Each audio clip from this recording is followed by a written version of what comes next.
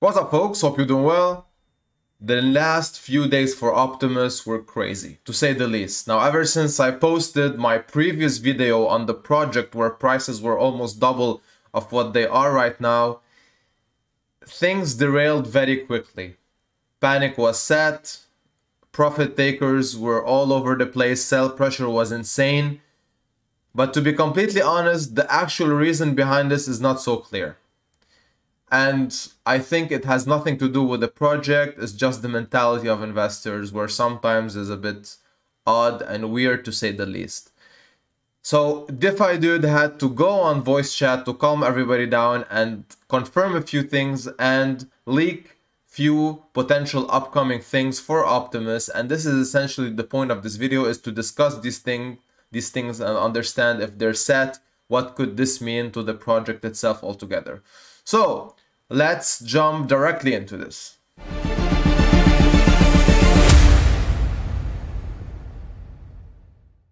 Okay, so I'm gonna go over these, you know, in no particular order, just talking about what he said, what is potentially coming, and what is almost certain to be coming. So first things first, we're gonna have our halving cycles for both tokens.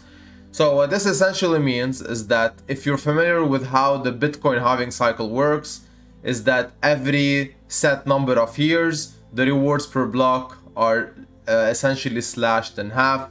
And that is to, you know, decrease the inflation of the supply, even though there's a max supply. And at the same time, if demand stays the same, price will increase. So basic supply and demand uh, dilemma there. So with that being said, if this applies to Optimus, and most probably it will because if I did mention that it's gonna be the case, so and there's gonna be more options I'm gonna be discussing about those soon. So instead of earning 1% per day, you're gonna essentially be earning 0.5% and that will also be slashed in half as time progresses. If we have more demand, then obviously with less supply being generated on a daily basis, with more burn, and demand stays the same or even increases, the price will also go on uptrend. So that's one. That is confirmed though.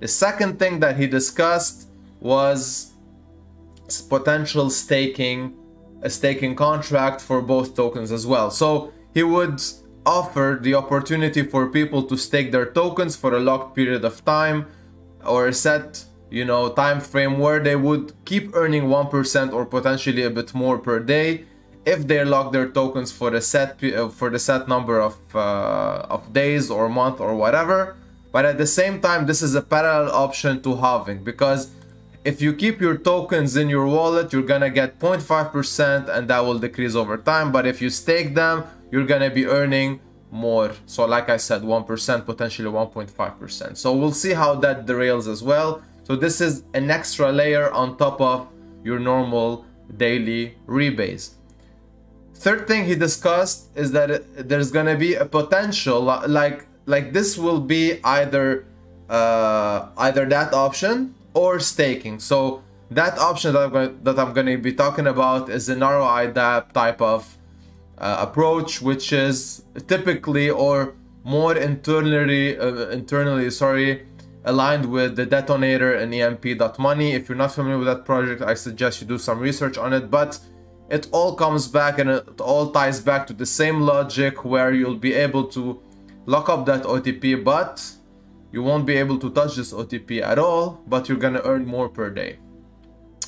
Now personally I'm not a big fan of this approach. I think the idea of Optimus here should remain there where it uh, where it be a project where people were trading you know easily between uh, between buying and selling with no uh, with no fees whatsoever. So it was a tradable token that earns you a percentage daily where you can sell anytime you want without any attachments. So the ROI that part, I'm not a big fan of. I think staking would be very interesting. And what I'm gonna talk about next is all is more interesting actually because we have the bridge coming up and that is something that we know that that will help arbitrage these two tokens and they're gonna include a native DEX and this is something that they have discussed again DD mentioned this potentially there and the native DEX is really important because it will essentially uh, um, it will essentially get more fees into the bots contracts where they'll be able to generate more revenue to trade the tokens and appreciate the prices better. So that's an external layer of revenue other than the trading revenue that they have mentioned and discussed several times. So this is something that would, you know, like I said, be more beneficial to the project overall and I think if they do add the native DEX and they do include the bridge inside the native DEX, that would be, you know, I think the best case scenario. So you would be able to easily bridge tokens between these two chain between these two chains. So not only they'll be earning uh, revenue from swapping the tokens, the separate tokens, so OP3 and OP4 on their uh, native chains, but they'll also be earning bridge revenues when people uh, want to use uh, the two prices to arbitrage and get some profit there. And the arbitrage opportunity is still there. It's almost uh, at the same level of what I previously uh, previously showed you. Now the scalability part is lower, so the profit potential is lower, but it still exists. I think 22 cents per trade is really cool, at least for the first trade, because after that they will level uh, each other out pretty quickly once the bridge goes live, but the tactic and the strategy remains the same there.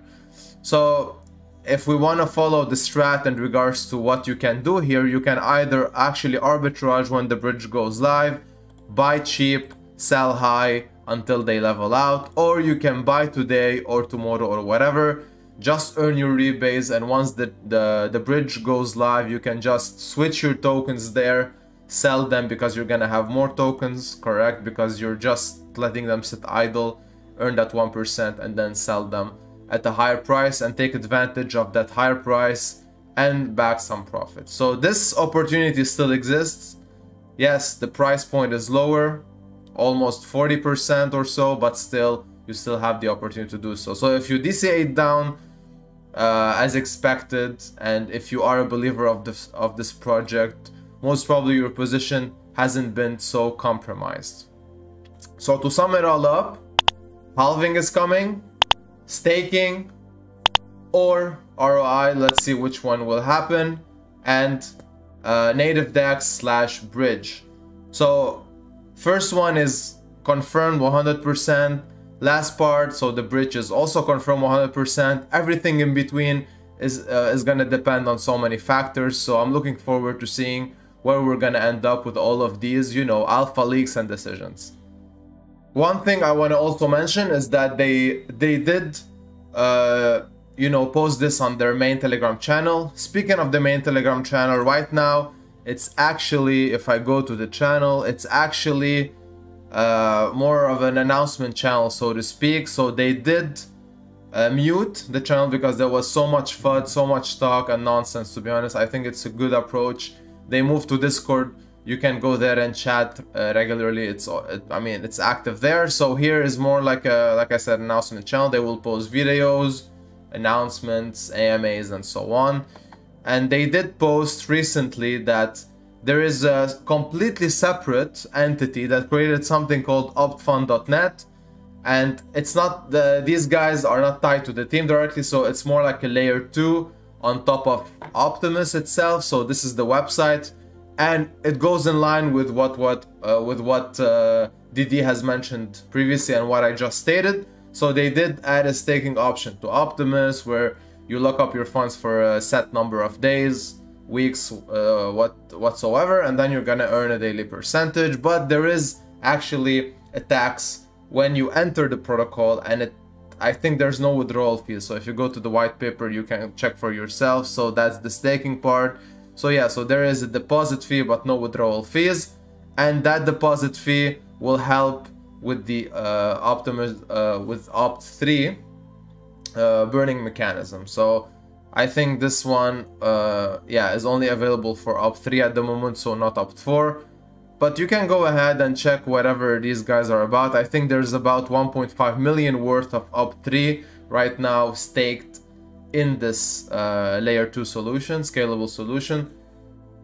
So my personal opinion on this is that yeah, it's cool that a third party member or a community member decided to do this. I wouldn't enter it myself. I mean, to be honest, I would rather enter the staking protocol that the team would put out.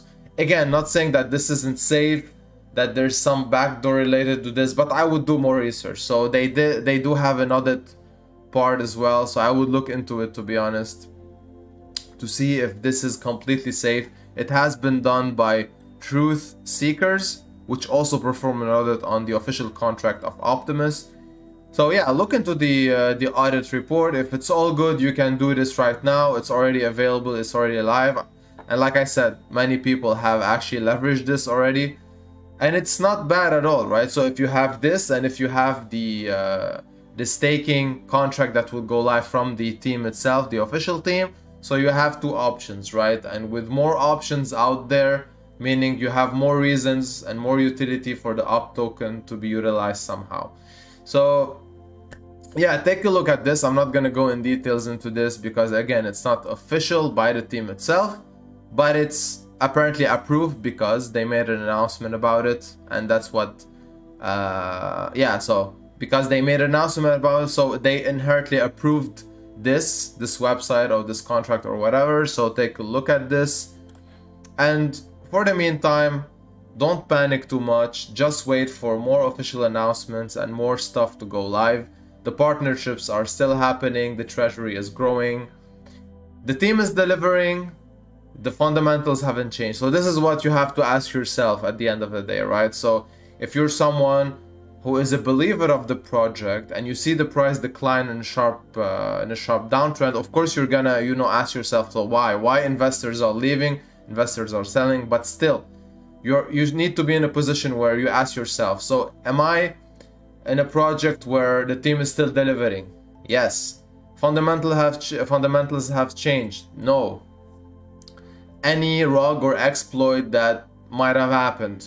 No again. Is the team selling? No. So all of these important questions, if you can get the right answer to them, then you most probably should settle down a bit, perhaps DCA if you have more risk capital, and do not never go in into any DeFi projects because you can never know. Even if everything is on track in regards to team fundamentals, price action, etc., things could go wrong because if the community is not so supportive, then yeah, things can go south really quickly. And the example uh, happened right in front of you uh, for the past 48 hours. So that's basically all I wanted to cover. Updates, insights, whatever we have coming, and just to keep you afloat and make you understand of the right questions to ask. And if the right answers are what you have for those questions, then that's it, right? That's all you need to know. Price action is temporary, but transparency, long-term belief in the project, those are imminent, right? And those are there and set there. As always, take care of your finances and trade responsibly. See you in the next one. Have a good one.